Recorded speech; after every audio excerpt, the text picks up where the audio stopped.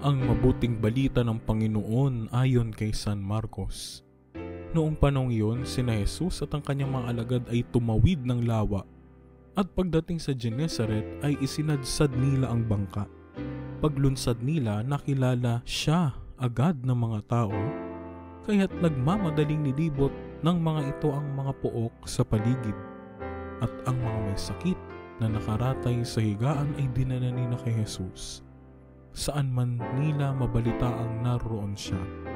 At saan man siya dumating, maging sa nayon, lungsod o kabukiran, ay dinadala sa liwasan ang mga may sakit. At isinasamo sa kanya na pahipuin sila kahit man lang sa palawit ng kanyang kasuotan. At lahat ng makahipo nito ay gumagaling. Ang mabuting balita ng Panginoon. Pagsasadiwa at patakbo nilang ipinamalita ito sa lupaing iyon. Kaya dinala nila ang mga may sakit na nasa higaan kung saan nila nabalita ang naroon siya.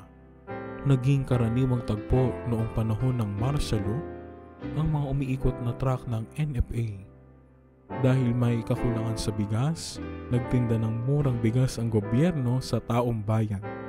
Dinudumog ang mga truck na iyon dahil lahat ay nais makabili ng bigas.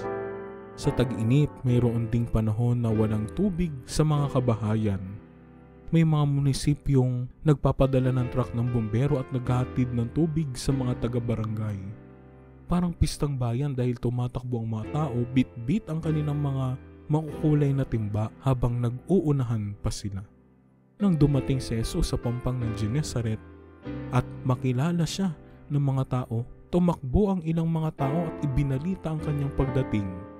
Nagdulot ng matinding kagalakan at pag-asa ang pagdating ni Jesus sa lugar na iyon. Isang magandang balita ang pagdating ni Jesus at hindi mapipigil ng mga tao na ipamalita ito. Labis ang galak sa kanilang mga puso at kailangan nila itong ibahagi sa iba. Lahat ng nilakaran ni Jesus, mga nayon o bayan o bukid, ay naging mga lugar ng pagpapala ng Diyos. Pagsasagawa Ano ang reaksyon ng mga tao kapag dumarating ka sa isang lugar?